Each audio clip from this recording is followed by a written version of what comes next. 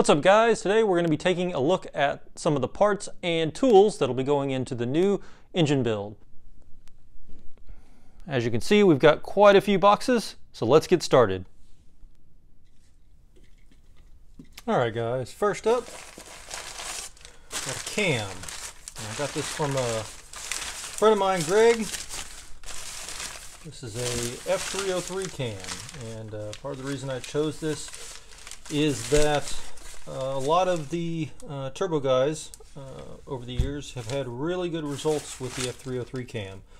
It's a uh, 226, 226 duration, uh, 512, 512 lift, and it's got a 114 lobe separation. Um, doesn't have a whole lot of overlap for the turbo.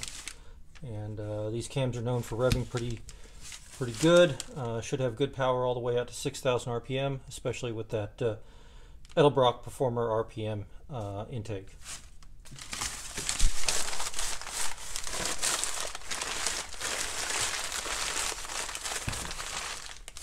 Uh, let's see what Summit Racing says.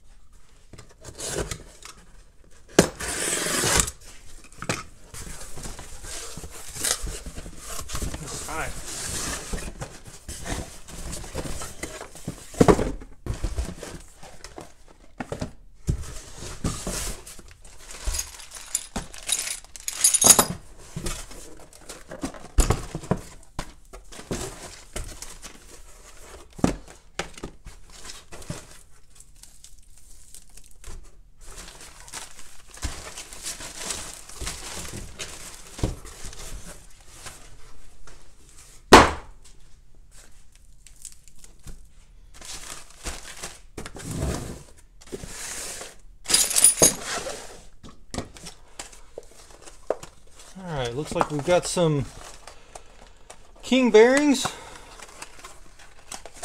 These are the SI series bearings. And looks like we've got our main bearings, with main bearings and thrust bearing.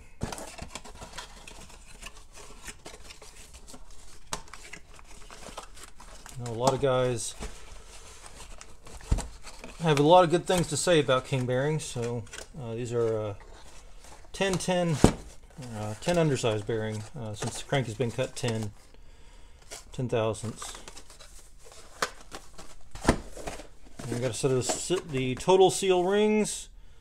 Uh, they're uh, classic race series. These are standard bores since I'm just uh, honing the bores and uh, putting the stock pistons back in these have a uh, moly top ring, uh, ductile iron, so should be good for the turbo setup. Uh, brass freeze plugs. Uh, I got piston ring installer. Uh, last thing I want to do is uh, break off a set of those rings. And ARP um, hardened oil pump drive shaft. I've seen a lot of guys uh, after rebuilding. In fact, a friend of mine, I think he went through, uh, after his rebuild, three uh, oil pump shafts twisted on him uh, and broke. So uh, definitely don't want to have any problems with oiling. So uh, hardened input, hardened oil pump drive shaft from ARP. Um, plenum gaskets from Edelbrock for the Performer RPM. And uh, Melling, we've got a oil pickup tube. Let's take a look at that.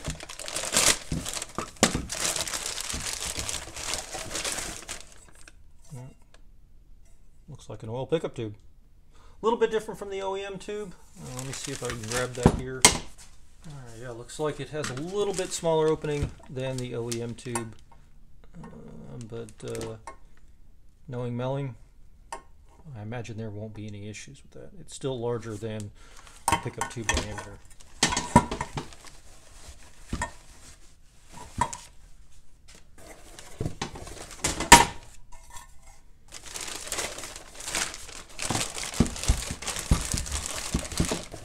And also with the oil pump pickup, um, new gasket.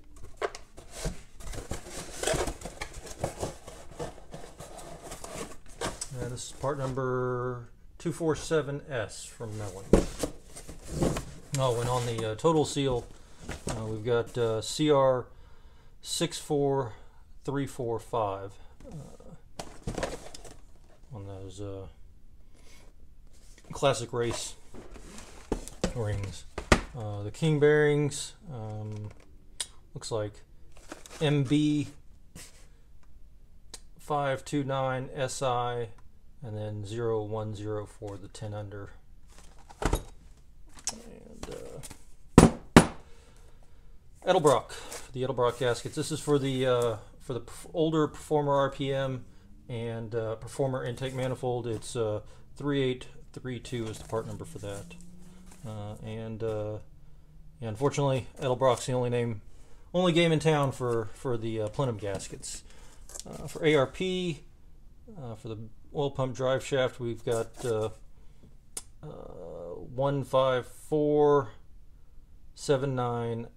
zero four for the oil pump drive shaft. This fits 289 and 302s. Uh, 351 Windsors will use a little bit different one. And uh, yeah, for the uh, brass freeze plugs, uh, it also has some nice.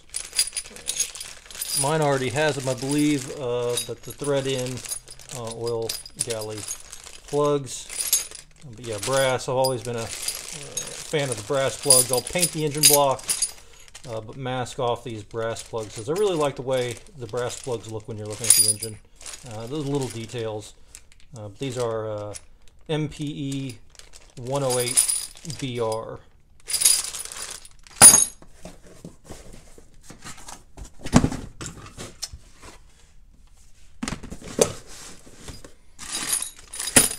And an oil pump. I decided to spend a little bit of extra money on the oil pump. Uh, this is a Melling uh, Select. This is the one of their uh, race pumps they've got. Uh, 10687 is the part number.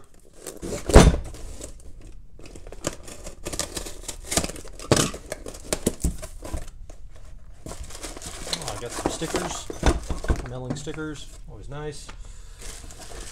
So, oh, looks like it comes with its own hardened input shaft that would have been nice to know. So looks like I may be sending the back that ARP shaft possibly. I don't know. We'll see. But uh, find out then. Looks like came with another an extra spring, uh, and a few few gaskets, and we got here relief valve spring instructions. So. Oil pump supplied with an optional pressure relief valve spring that will increase bypass pressure when installed. Idle pressure is not affected by spring changes. So that's the relief valve spring at least include. So supposedly this is better pump, uh, better internals, uh, better tolerances than the standard M68 pump uh, that you would normally get for a standard rebuild. So uh, I felt the uh, extra power, uh, extra performance that I'm going to be going for be better to have a little bit better oiling, especially with the turbo bleeding, essentially bleeding oil off of the off the oil feed. So it looks like we got threaded plug. Oh yeah, this has a threaded plug instead of a pressed in plug for changing out or adjusting the, uh, the pressure.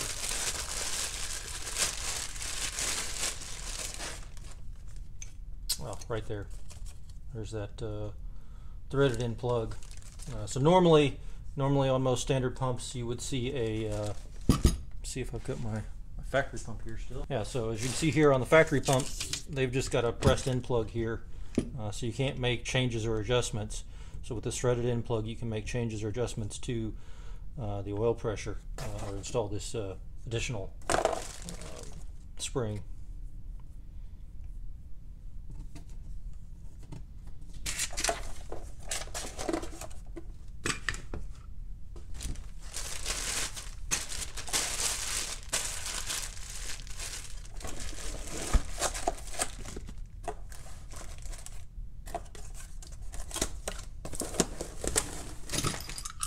right, next up, oh, got uh, got uh, good old Plastigauge. I've got the red and the green Plastigauge. Uh, now, I am not going to be using primarily Plastigauge on assembling this engine. I will also be checking uh, clearances with a uh, bore indicator and a uh, and a micrometer on the uh, on the crank. So uh, this is just to uh, double check the readings that I'm getting, make sure that everything is kosher. And then I've got some red and gray scuff pads. Um, clean up the bores just a little bit since uh, I've got a little bit of surface rust coming uh, showing up on those bores so we'll get them cleaned up just a little bit and uh, be good to go. Alright, next up uh, we got something from Amazon here so let's see what we got.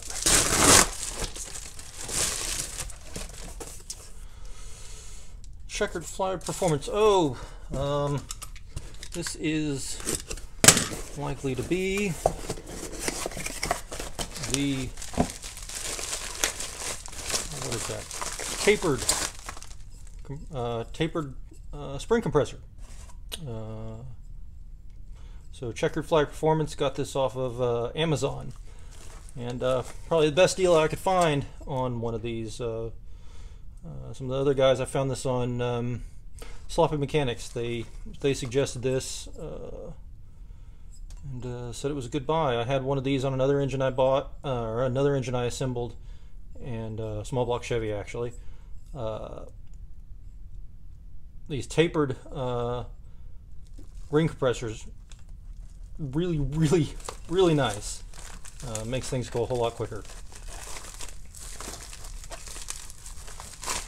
like I said, I got this off of Amazon. It's a you can see, see standard 4 inch bore uh, since I'm not boring the engine using stock pistons.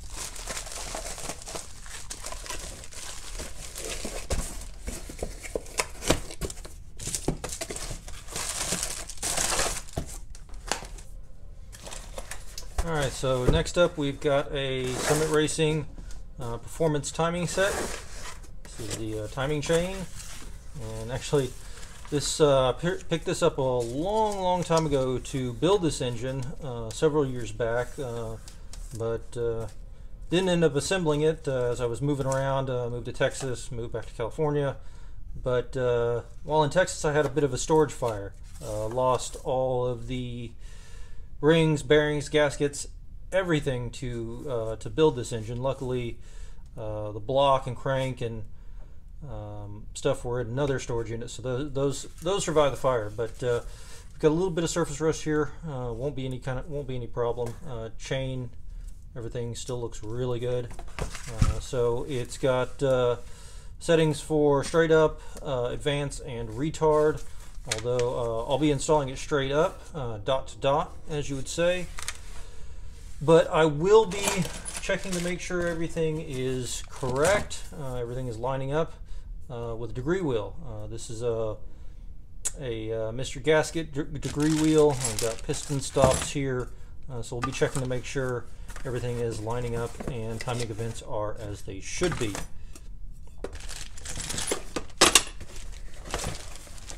Next up, we've got a, another Summit Racing box. Let's see what we've got here.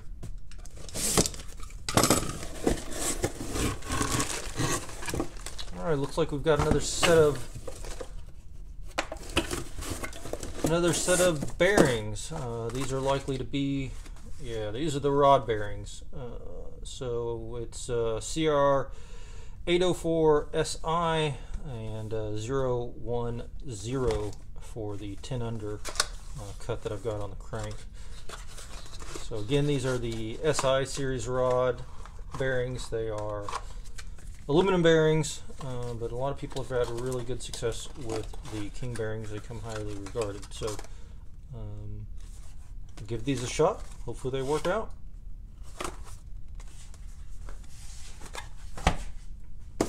I got another another box from Amazon. Let's see what we got here.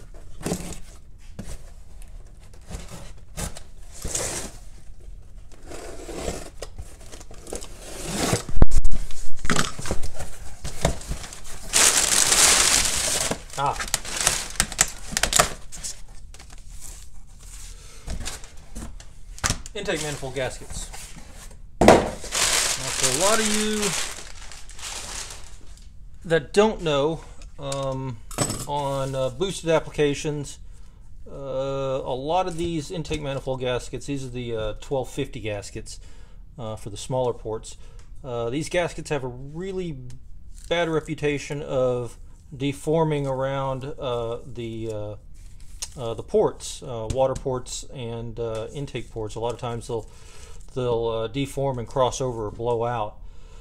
The this gasket, the 1250 S3 is a steel core gasket and uh, this eliminates uh, any problems that you have with this blowing out and uh, leaking coolant into the intake uh, and um, a lot of times a lot of people think they'll have a blown head gasket but in fact they've just got a blown intake manifold gasket uh, but yeah so uh, blown applications turbocharged applications see a lot of boost um, these are the gasket to get. Now, I don't know if they make a 1262 S3, um, but uh, my heads are ported uh, and fit this uh, 1250 S3 gasket. So uh, used these before.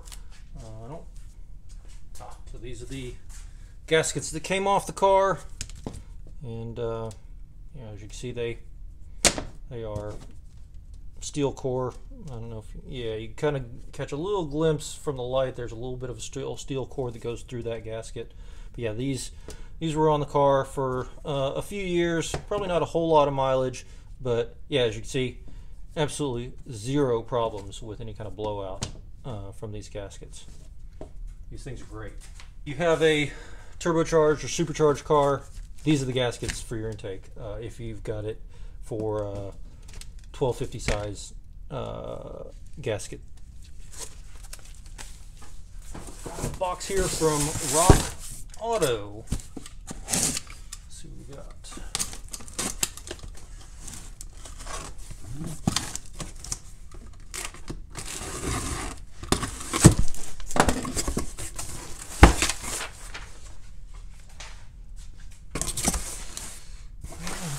Looks like a bunch of gaskets. Oh yeah. Gasket time.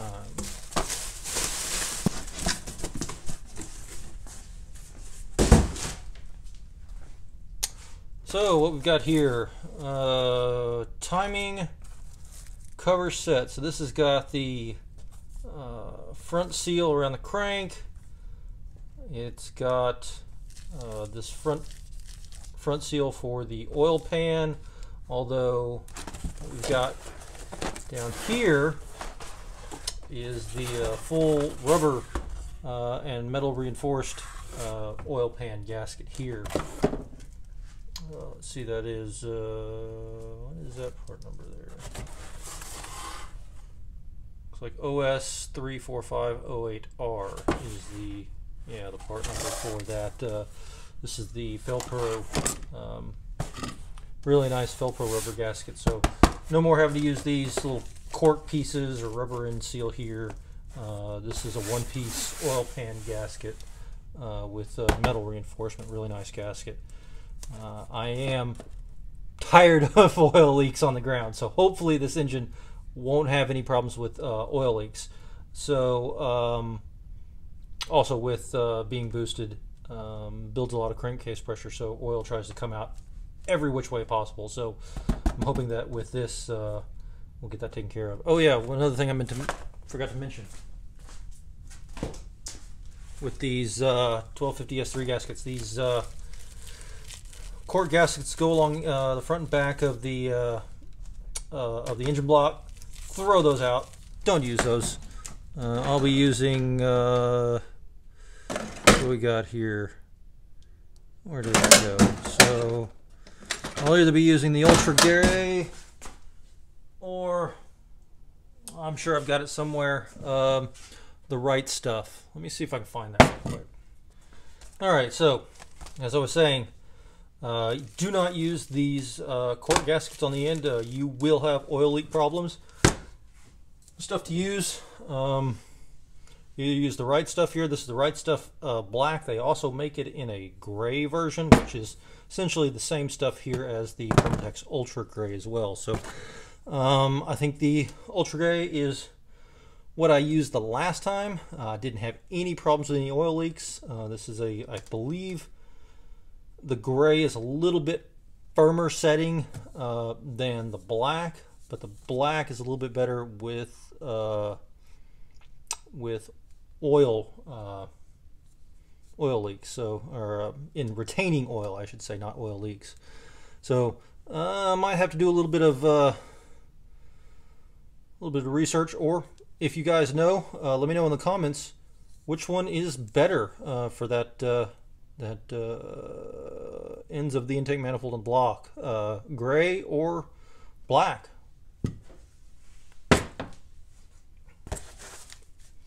So and so that's timing cover set. Um, it's also got the uh, water pump gasket in there as well. Um, I did note that it didn't come with the gasket that goes in between the plate and water pump. So there's gasket that goes underneath this plate here, and that's what this gasket is for. So uh, this is Edelbrock uh, Victor Series water pump. Um, I don't run um, heater core. Heater core went out here in California. Don't really need the heater core. I don't drive the car enough to really worry about heat. Uh, so I am going to be blocking off one of these two ports here. I forget which one it is. Uh, when I get it assembled again, I'll figure out which port it is. But uh, I'll just be putting an NPT plug in one of these two ports here uh, to block it off, and the other one just goes to the intake, uh, the thermostat bypass. Uh, so uh, that will help clean up some of the hoses. I'll be in the top of the manifold. Uh, there's the yeah, it's too hard to get that out right now, but there is the the two tubes that run along the top of the intake manifold, uh, or the top of the lower intake manifold, uh, to run back to the heater core. Um, up until this point, I've just had it looped around at the back. Uh, I really want to clean that up, so um, I'll be removing those. Um, one thing to note, you just can't remove it and leave it off. Uh, the uh, coolant temperature sensor uh, for the engine, the uh, ECT sensor, engine coolant temperature sensor, that is in the pipe that runs along the lower intake manifold. So this is the pipe that I'm talking about here. Um, uh, right here is the engine coolant temperature sensor. This is the tube that comes from the water pump. Uh, there's also the other uh, other tube that comes from the uh, thermostat gas thermostat here, so right here. So you've got one here and the other one right here. So, um, and back at the back, as you can see, I've just got this, uh, what do you call it? Um, yeah, it's just looped around um, just to bypass the heater core. So I'm going to do away with this to clean everything up, but this engine coolant temperature sensor needs to go in this port right here when you when you pull this apart. So it'll also uh, I'll be getting rid of these uh, EGR um, coolant lines uh, that come on this uh, come off this rail too. Um, that'll help cool the intake charge. Since I'm not using EGR anymore, uh, there's no real reason to keep these lines in place. It'll help keep the upper intake a little bit cooler. Uh, but yeah, so this engine coolant temperature sensor will need to go in here so we can accurately accurately read the engine coolant temperature sensor. If you get rid of this, uh, the engine will not be able to uh, compensate for uh, changes in engine coolant temperature uh, when it gets hot, when it gets cold. Um, in tuning, uh, you can use the engine coolant temperature. Actually, the, the factory uses the engine coolant temperature, so, so when it gets too hot, it will retard the timing uh, to help uh, help prevent uh, detonation. Um, so push that back in here. Ah, here you can see I've got the 24 pound injectors currently. This is the air charge temperature sensor which measures the air intake temperature. Uh, it does get a little bit heat soaked in that lower port.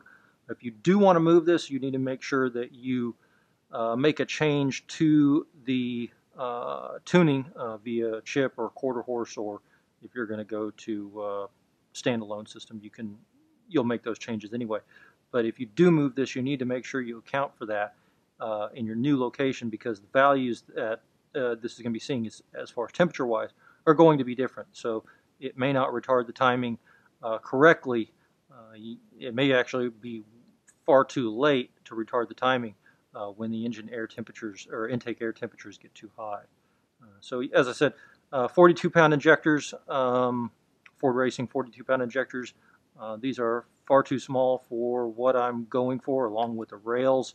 I've got some um, aftermarket larger fuel rails to go with it, uh, and I have uh, looking to be running 80 pound injectors. Haven't gotten those injectors yet, so I don't know exactly uh, which injectors I'm going to be running currently. So, um, but yes, the, the, plan is to run 80 pound injectors um, for E85. Uh, 42 pounds are these 42 pounds were already at the limit on gasoline uh, with the power level I was at. I'm going to be making more power than I was, so these are uh, far too small uh, for what I'm going to be doing. Uh, duty cycle will be too high. I think it was around 95% duty cycle with these injectors with the setup that I had previously, which uh, most tuners say that you really shouldn't be above 80%. Uh, so I was definitely running into problems with that. Uh, so 80 pound injectors will be what we need for E85. Okay, back to the water pump. This is a uh, Edelbrock Victor series. This is the gasket that goes between the plate and the water pump. Head gaskets. I've had really good luck with the 933 uh, PT1s. Uh, they are a relatively low cost gasket. I believe these are about 15 bucks from RockAuto. Um, if you're running a stock block, uh, there's really no need to be running any kind of Cometics or anything like that. It's not necessary. Uh, also, uh, it's better to blow the head gasket than cause any extra damage that the Cometic gaskets might be holding in. So I run this with ARP head studs. Uh, I was running 15 psi on the supposedly thin deck GT40 irons. Everyone said, oh, you're going to be blowing head gaskets left and right. I blew one head gasket uh, with the blower. Um, probably two reasons. Uh, at that time, I was using factory torque to yield bolts still, and um, the guy that I had helping me did not follow the directions on the side that blew. Um, now, granted, those head gaskets were on the car for almost a hundred thousand miles, so it was more than likely a tuning mistake. I knew that it rattled a little bit so that it, it had a small little fissure from one of these ports here over to uh, into the fire ring, into the cylinder. Uh, it was pressurizing the coolant system just a hair. Um, I would eventually fill up the overflow tank and it would start pushing coolant out of the overflow tank but it wasn't a major head gasket blow. And again, like I said, that was with torque to yield bolts that were incorrectly installed. Uh, so it lasted through nitrous, um, which actually on that same side, I melted the uh, ground strap off of all four uh, plugs when I got a little bit greedy with the nitrous and ran out of fuel pump. So uh, on a 100 shot it was good, 125 shot ran out of fuel and melted off the ground strap on all four plugs on that same side. So fantastic gaskets. Um, I didn't have any problems with the turbo setup with these gaskets. Uh, a lot of people have really good luck with them. So like I said, 15 psi with the turbo, ARP head studs, these PT or 93 933 PT1s are fantastic gaskets. And last out of this set is the rear main seal. Uh, this is the PTFE, the Teflon seal. Uh, it's BS uh, 40644. And it comes with a install uh, ring to assist in installation so you don't tear up that seal. So hopefully with this PTFE um, rear main seal, I won't have any problems with leaks. So, um, so Fel-Pro does not recommend the use of a repair sleeve with this seal. So if you've got wear on your crank uh, from previous seals, if you've got a lip there that you can dig your finger into, this uh, PTFE seal is not for you. Um, also, it says that this seal must be installed dry. Do not lubricate the seal or the crankshaft when installing this. I believe uh, the reasoning for that is these have um, some kind of installation grease or something already on this uh, seal. So if you install it, uh, if you put oil or something on there, it won't seal seat correctly uh, when you start that engine up.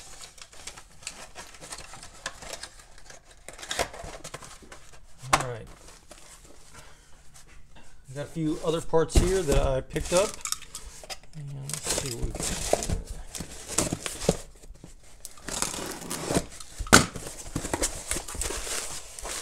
Alright. So this is an older piece, uh, but I use, this is a HKS uh, boost controller. So in the past uh, on the Mustang I was using a Turbonetics manual uh, wastegate or boost controller. Um, that uh, boost controller, uh, see here, as you can see right here, uh, this is the Turbonetics. It's just a uh, air regulator. It's nothing special. You pull it out, turn it, lock it back in. Um, they're not great. Um, better performance can be had with uh, electronic boost controllers. Uh, one of the real big benefits here with electronic boost controllers is that they hold the wastegate shut until uh, your desired boost pressure. So um, with most uh, manual boost controllers, um, a lot of times what will happen, or if you're just running on wastegate alone, that wastegate, as it sees pressure, it starts to creep open um, and what that does is that will slow your boost response. Now, for some people, that might be okay, especially if you're traction limited. That might be all right. But uh, in hopes of all the power that you get, all the average power and torque that you can get, uh, the electronic boost controllers will uh, hold that wastegate closed until your desired boost pressure is met. Uh, I have this same um, uh, I forget which version this is. Uh, I think it might be the EVC 4, I think. Um, but I have the same boost controller on my XR4 Ti. I've had it on there for several years now, and uh, I've been nothing but happy with it. It's got uh, um, off, which is just your wastegate pressure, uh, low boost, and high boost. Uh, so this is the uh, solenoid that uh, you've got your um, manifold vacuum, you've got um, top of your wastegate and bottom of the wastegate. These ports may not may not be pointing out the correct ones, but for the boost controllers, we've got uh, manifold, top of wastegate, and bottom of wastegate. Um, and that will, oh, and uh, I forget what the other one is. I'm sure I have the directions for this one somewhere. Uh, I'll obviously find that, and we'll go through the installation of this when it's time uh, on another video. Uh, it will be quite some time. Uh, yeah, I got tired of uh, not being able to adjust the boost on the fly. Um, I was running 15 psi all the time, you know, because we like to party, obviously. But uh, yeah, there are some some instances where you know having all the power all the time isn't really necessary. Uh, you know, let's say you get caught out in the rain or something. Uh, but you know, I'd like to run on 10 psi most of the time. I think the wastegate has a spring for 7 psi. 7 psi just isn't enough, to be honest with you. But uh, probably run it around on 10 psi, um, bump it up to 15 psi uh, on pump gas. So for E85, you know, I don't know what I'll be running. Um, E85 can you can run just about as much boost as you want to without a problem. Um, I seriously doubt that I'll be going over 20 psi, but uh, it's good to know that this would have that ability to do so. So you know I can have uh, I can have my pump gas um, boost level, and then I can switch it over to high boost for the E85 uh, if I so choose. And then the last thing we got here, um, our set of uh, roller lifters. So as, as I said earlier, uh, I lost a lot of stuff in my storage fire. Uh, I actually have, here we go. So this is the box of stuff that came out of the storage fire. So I've got uh, old nasty roller lifters here. I don't even have a full set of roller lifters, so um, uh, I might be able to salvage some of this stuff. I don't even know. But because I knew I didn't have a full set of lifters, I went ahead and uh, picked up a uh, another set of lifters um, locally. Now, one of the things is that I've heard a lot of problems with the newer style lifters that have, uh, I think they're like one or two rings that go around right here, and um, this part of the lifter extends almost all the way down to um, to the roller. I've heard a lot of people that have problems with those uh, lifters falling apart, um, being bad out of the box, uh, and they're you'll see them the Ford Racing lifters, they're uh, Erson lifters, almost everyone uh, Melling sealed power, almost everyone sells the same lifter in a different box. Uh, so uh, pretty much any lifter you get these days are an offshore lifter that's made. Uh, these are OEM lifters. I'm going to clean these up. I'll probably pull the, uh, if I can, I'll pull them apart and uh, get them cleaned up on the inside. If not, I'll just dunk them in some uh, some my carb dip and get them all cleaned out. Shoot some brake cleaner through it, some carb cleaner through it, and make sure they're all nice and clean. I'll inspect them thoroughly, make sure we're good to go, and um, I'll reuse these with uh, roller lifters. You can definitely reuse roller lifters on any what cam you want. Unlike flat tappet or hydraulic tappet, uh, standard non-roller camshafts where uh, you need to keep if you if you purchase a used cam, you need to keep those lifters assigned to the same lobes they came out of. Uh, otherwise, you're going to have some problems with wear. So uh, with roller cams, since it's a roller bearing, there's no need to keep the lifters assigned to assigned to each cam. Uh, you can reuse old roller lifters on a new cam. Uh, you can use new roller lifters on a used cam. You can use used lifters on a used cam. It doesn't matter. So um, I'll get these all cleaned up. These are nice Ford lifters, which I've never had a problem with. Uh, so get them cleaned up, get them stabbed in, be good to go. All right, guys, that's it for today. So coming soon, we're going to be pushing the Mustang outside and get it cleaned up and prepared for the Scott Rod weld-in inner fender panels. I've also got the panels for welding over the strut tower braces. Still got to order the one for the firewall. That'll come in soon. But first up, got to power wash, and get all that old years of grease and grime and dirt off of here so we can get started welding. All right, thanks for watching. Take care.